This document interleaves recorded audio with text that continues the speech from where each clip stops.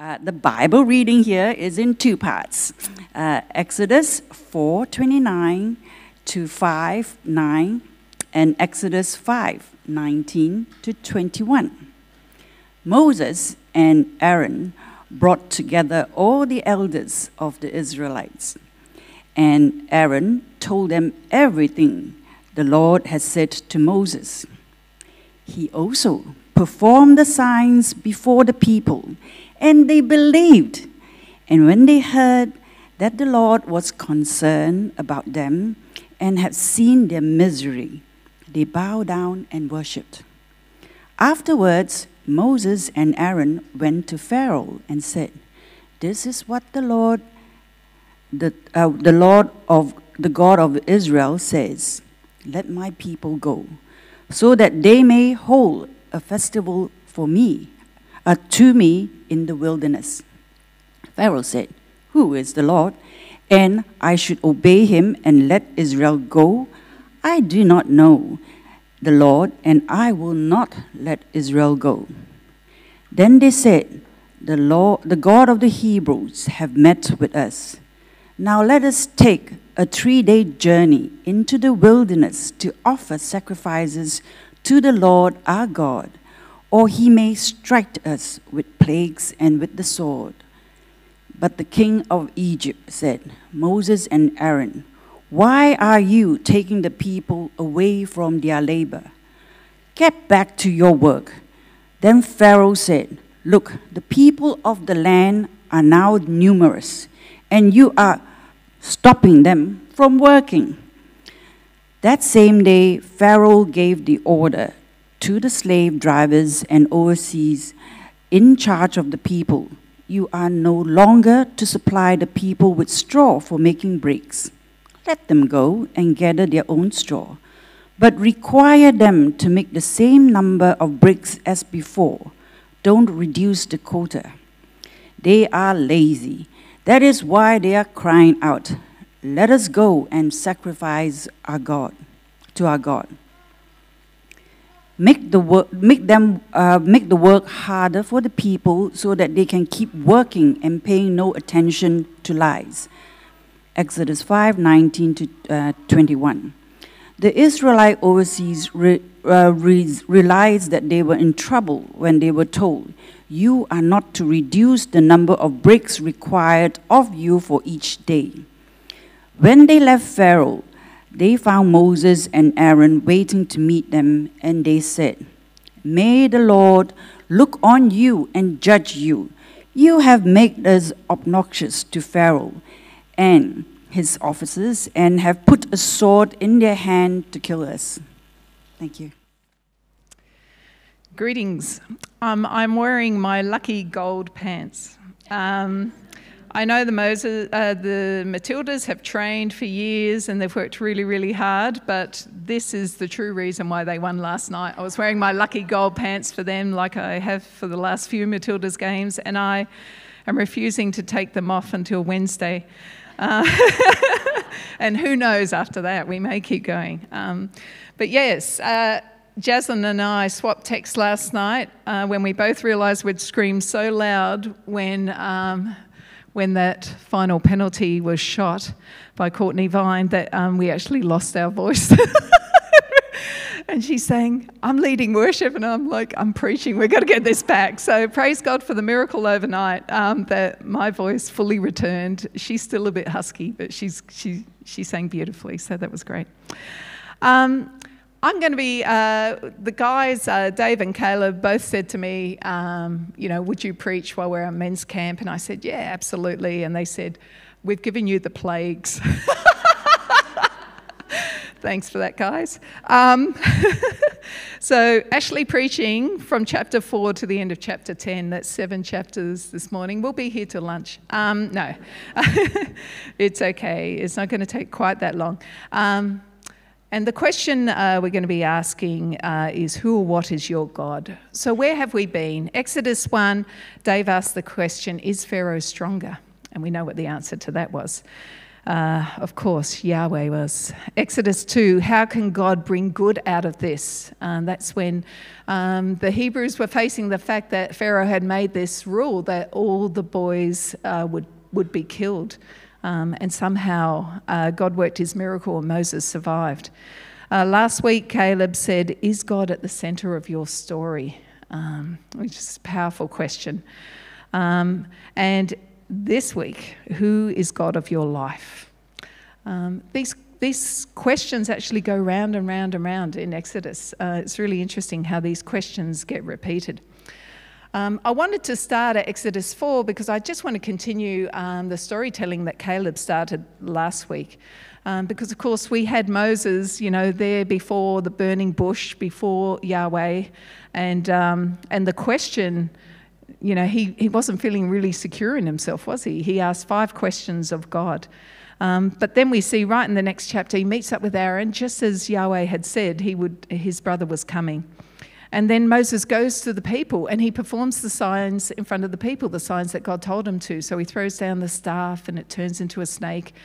And then he picks it up, it's the staff again, he puts his hand into his cloak and brings it out, and it's got a skin disease, leprosy perhaps, and then he puts it back, and then it's clean again. Um, and the people see these things and they believe, and then they start worshipping Yahweh. And I can just imagine at that point, Moses is saying, Whoa, awesome. We're, this is great. This is going so well. So I suspect that when he went to see Pharaoh, he was actually feeling pretty positive, he and Aaron, as they go to Pharaoh. But what is Pharaoh's response? Pharaoh's response is, is pretty strong. Who is the Lord that I should obey him and let Israel go? I do not know the Lord, and I will not let Israel go. And thus, we have this declaration that Pharaoh is not going to let the people go. And then he goes even further because he then makes the life even harder for the Hebrew slaves. Previously, they had straw that was put for them so they could make the bricks, and now Pharaoh says they're going to have to get their own straw. They're going to have to walk out there, get the straw, collect the straw. And he's not going to let them make less bricks. They have to make the same number of bricks. So their life is even harder. And so at the end of chapter 5, it looks pretty dire actually because there are the Israelites and they're saying um, to Moses and Aaron, What have you done? You've just made our life so much harder. And I can imagine that this was a really low point for Moses. Already in two chapters, we've gone from the highs to the lows. And the reason I wanted to say that is that there's a bit of a cycle of stuff that goes on over the ensuing chapters, which means we don't have to read them all individually. Basically, God, Yahweh, says, Let my people go. And Pharaoh says, No. Sometimes he says, Yes, no. but that's basically it. And God's people suffer here. And God's response is that he shows his power, and he shows his power with the 10 plagues. Now, I wonder how many of you can name the 10 plagues. I want you just to chat to each other. How many of the plagues can you come up with? Let's see how many. Go for it.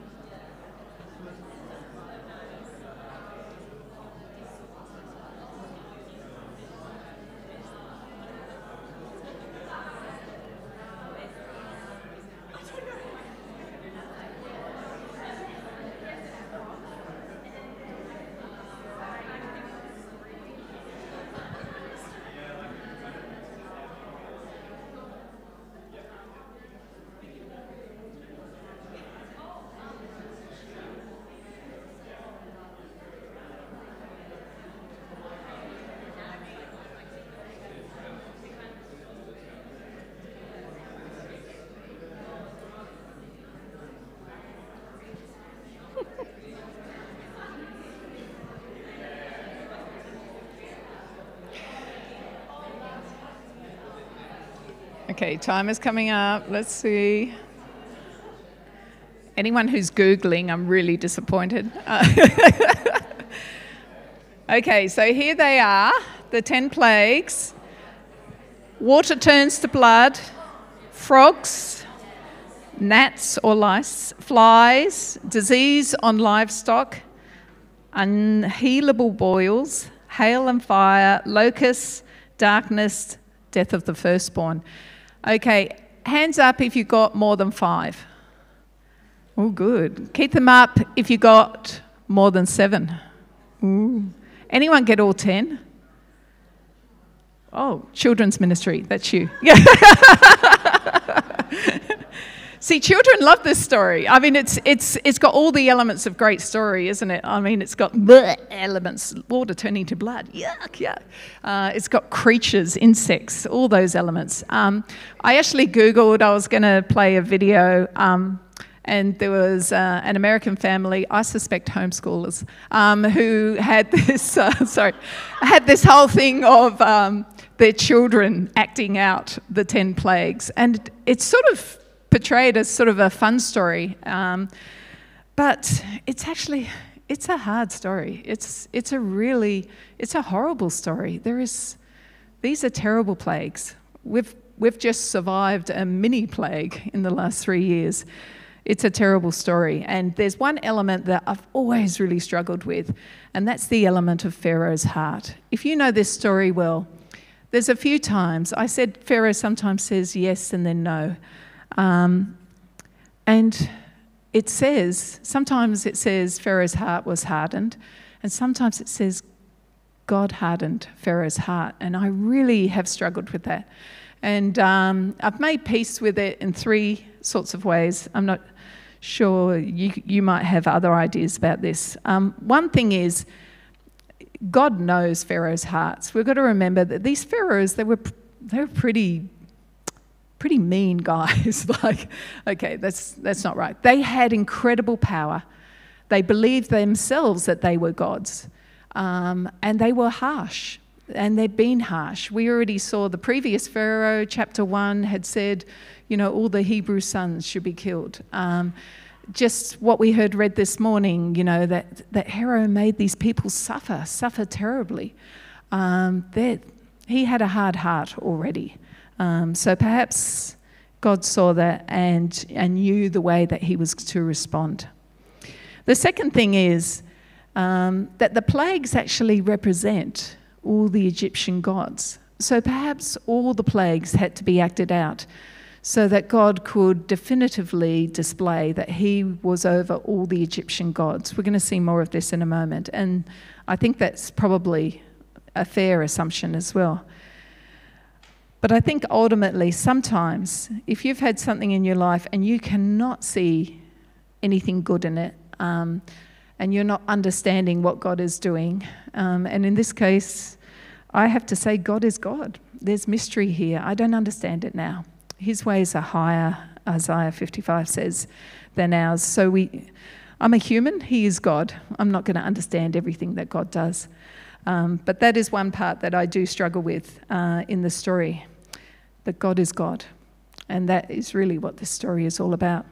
So let's have a look at um, all the Egyptian gods that God actually shows he's better than in this story. Okay, so plague one. Plague one is that the Nile turns to blood. Now, the goddess of the Nile was Isis. She was also the goddess of fertility. And really, the Nile, the river, was the life force for all of Egypt. Uh, most of the people lived in the Nile Valley. Egypt's a very dry country, there's a lot of desert. The Nile was absolutely what they depended on. So, this, this first plague was really significant uh, because it turned their, their life force into blood, into undrinkable water. And God says in Exodus 7:17, "By this you will know that I am the Lord." So that's the first plague. The second plague was over the goddess Heket, who was the frog headed god of Egypt. I was going to make a joke about French frogs being beaten anyway, but I won't. Um, but uh, the frogs, frogs were revered in Egypt because they could live in both land and sea, so they were seen as sacred. Um, and one of the interesting things is that it, people were forbidden from killing frogs But what happens as part of this plague when God stops the frogs is that they all died. Uh, they died in the houses, the courtyards, and in the fields. They were piled into heaps, and the land reeked of them. So that was a further sort of God saying, I am Lord over this. Okay, plague three, the gnats. Um, this was uh, a triumph over the god Set, who was the god of the desert areas where the gnats were believed to come from. And uh, this is the first plague where the Egyptian magicians in the court were unable to reproduce the miracle. So they'd They'd turned water into blood. Um, they'd managed to um, produce frogs, but they were unable to uh, produce all the gnats or to stop the gnats. And so the magicians themselves at this point say to Pharaoh, This is the finger of God. So already um, they're accepting that this is a God who is higher than um, their gods. And then we have plague four, the flies flies. This is Uatchit, the goddess. She was the goddess of swarms. Um, and this is the first time that actually the Israelites are spared. So they were impacted by the first three plagues, but at this point, the Israelites start to be spared the impact of the plagues. The next plague is the one where the livestock uh, are diseased and die.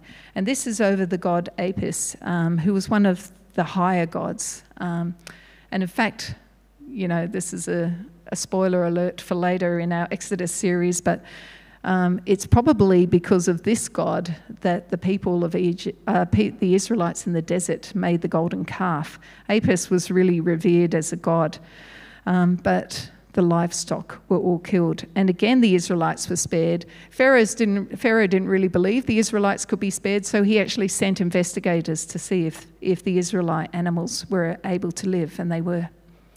Okay, plague six. This is um, over the goddess Sekhmet. Um, so she was the goddess of medicines and healing. Um, and you'll notice on her head, um, actually, it was on Apis's head as well, there's the sign of the sun. Uh, the sun was the highest god of all, Ra, and um, the, god, the gods that have a sun over them are the higher level gods. Um, and you'll notice she also has the cobra as well. And Pharaoh himself, um, in his headdress, would have a sign of the sun and the cobra, and this was a sign of being um, God material. So the boils break out on all the people. Uh, interestingly, at this point, the magicians can't stand before Moses because of the boils. So this is this is the point at which you know this is beyond human magic or, or even magicians who are trying to access their gods as well and their their magic. At this point, there's a moment of grace. There's a moment of grace where God warns Pharaoh, this next series of plagues are going to be even worse. This is your chance. This is your chance to let the people go.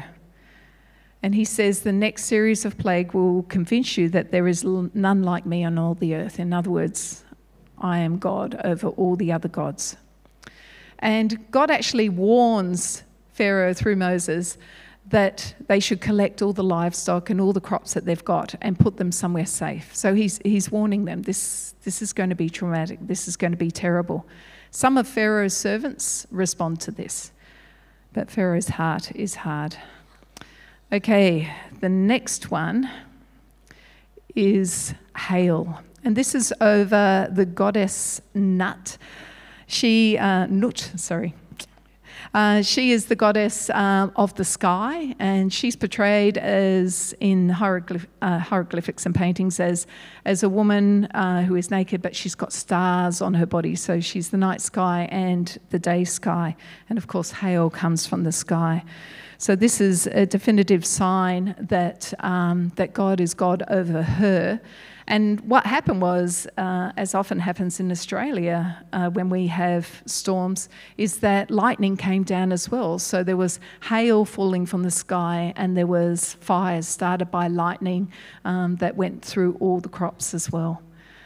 So a devastating storm. Um, it says in the text that Egypt had never seen a storm like this. The eighth plague is the plague of locusts, and uh, this was um, to conquer the god Osiris. Osiris uh, was the god of agriculture, uh, was linked to Isis, and again, one of the, the pantheon of gods, the higher gods. Um, and uh, this, what the locusts did, they, they basically um, killed off any of the crops that might have survived the hail and the lightning. So at that point, all of Egypt knew there would be no food, um, no harvest that year. The Israelites were told they would see God's power and know that He was the Lord, it says in the text. Okay, we're coming up to the final plagues. Plague nine. Plague nine is darkness. And that is God, Yahweh, saying He is God over Ra, who was supposed to be the God over all the gods. Ra. There was darkness for three days, and yet the Israelites were spared. The Israelites had light and no one could explain it. And then we come to the 10th plague. I'm not going to say too much about this because um, this will be part of the sermon next week. But this is the plague of the death of the firstborn. And once again, primarily the goddess in sight here is Isis. She was not only the goddess of the Nile, the goddess of fertility and life, and she was supposed to be the protector of children. Um, and she was definitively defeated in this 10th plague. It's very sober, isn't it? It's very somber, this story. There are patterns in this story. Andrew Reid, um, an Australian uh, theologian, biblical scholar, has written a commentary in Exodus, and he finds these patterns. And I, I found this really interesting. So he talks about three series and then a climax, and there's sort of three groups of plagues um, that come together in each of them. And in each time, there's a warning, there's yes, yes, and then there's no warning. Yes, yes, no warning. Yes, yes, no warning, and a final warning. And they're words of instruction to um, Moses and Aaron here too. Um, station yourself, go to Pharaoh, and then no words of instruction. Station yourself, go to Pharaoh. Station yourself, go to Pharaoh. And the actor, the person who actually acts to, to bring about the plague, so for the first three, it's Aaron who actually holds out his hand. There's special instructions given to Aaron at this point about what to do. So three times, Aaron is the one who does the actions. Um, and then God just does uh, the plagues, and then it's Moses who is instructed to hold out his hand and so on. And I even find that interesting in terms of, you know, how Moses has come. Like he was the one who was saying, no, no, no, and send my brother, etc. And suddenly, at this point, what we have is um, it's Moses who's actually the one who's stepping forward at this point um, to obey Yahweh and to do the actions. Um, so we see that Moses is on the, a journey in this as well. Um, don't want to say too much about this, except that this is these are patterns that help us remember the story. Um, this is uh, this is a story that was told and retold, retold, retold. It's still told and retold. Um, it's still a story that is absolutely fundamental to Jewish and Israelite understanding of their story. Um, and it's a story in some ways that, that we envelop into the Christian story as well. Um, all through the Psalms, this story gets retold as well. It's such a significant story um, for understanding who God is and what He's doing. As well as those patterns, there is something that I hadn't really seen before, which is the pattern of creation and uncreation. So, Pharaoh in Exodus 1 says he has the power over life and death. It's at the end of Exodus 1 when he says, you know, kill all uh, the, the sons of these Israelites. So, he's setting himself as having power. He's setting himself up as God over the life of the Israelites. But God is the true God, He's the creator. And He reveals He has power not only over creation, but He has power to uncreate as well. In Genesis 1, Yahweh spends seven days creating the world. He speaks 10 times. And then here we have God speaking and 10 times decreates. And then he stops it and brings flourishing again. And so we see that waters which separate to form land and life in Genesis 1 now represent death when it turns to blood. Animals and crops which are for human consumption are themselves consumed. Light is turned to darkness. Humans are destroyed. And I was thinking about this and I was just thinking, what are we doing to the world? Um, it's almost like humans are, are, trying to uncreate the world. Um, I'm thinking just before we came, I saw the pictures of Maui and Hawaii and the devastation of those wildfires, and just thinking about the impact of climate change. Last, um, last weekend, David and I went to Cremorne Orpheum to see Oppenheimer, and just thinking about the power of that bomb to uncreate the world. Um, we constantly make ourselves almost into gods um, in terms of controlling. But God is the true creator, He has power over uncreation. Jesus was there at the beginning. He actually is the one who uncreates evil. so Pharaoh was God. There were the Egyptian gods. God has proved that he's stronger than Pharaoh, he's stronger than all the Egyptian gods. Now, we're probably, I suspect that, that you guys don't have statues of Egyptian gods in your house. Um, we don't have gods like that anymore. But my question is what is God of your life? What do we do to, to give other things God like authority in our life? Sometimes it can be work. Work was something that is given to us as a gift. Sometimes we can turn it into a God that determines what we do, that we worship. Houses, possessions, they're gifts to us.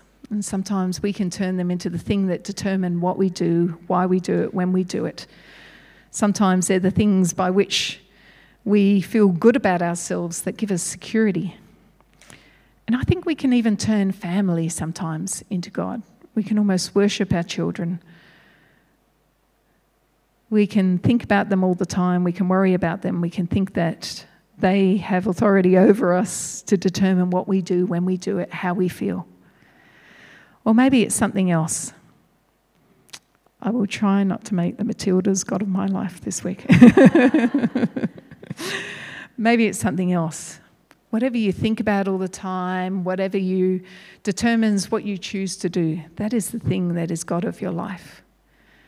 And really, God is the one who should be the God of our lives. He was showing all the Egyptians, he was showing all the Israelites, he is the one true God who determines their lives, a lesson they would hopefully never forget, but human hearts are fickle.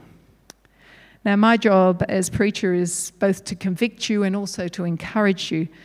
Um, so I think that we saw right at the beginning the Israelites, they were fearful, weren't they? They feared Pharaoh, they feared the gods of Egypt.